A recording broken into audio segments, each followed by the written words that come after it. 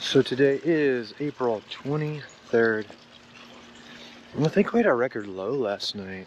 And I think the day before too. I'm gonna have to look that up. It's pretty crazy. Getting down to freezing temperatures.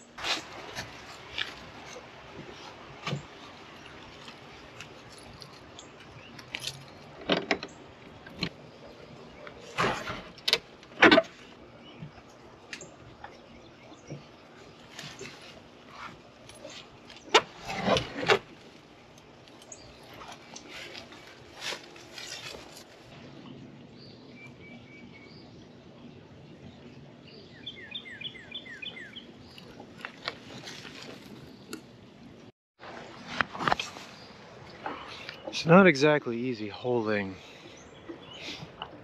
the GoPro. Not ideal.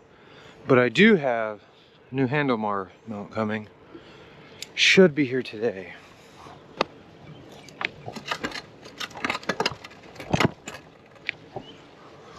And that'll free my hands up again. There are some advantages to holding it. You know, can really control the the shot. It is steadier, but that was not really a problem. I'm really impressed by the hyper smooth that this has, and then the max lens only improves that too. So that's really good actually. Because I did have a GoPro 5, well, I still have it. But this is just leaps and bounds better. Which has been very impressive so far. So one topic I guess I'd like to talk about is the idea of minimalism. I've been trying to implement it in my life. And it seems like one of those topics, I guess, that people get way too into. They're passionate about and they go on and on and on.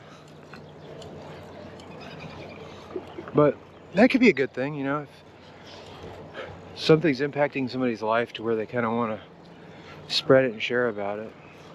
I'm I don't feel quite like that. I see it as like a tool to help improve, but not a.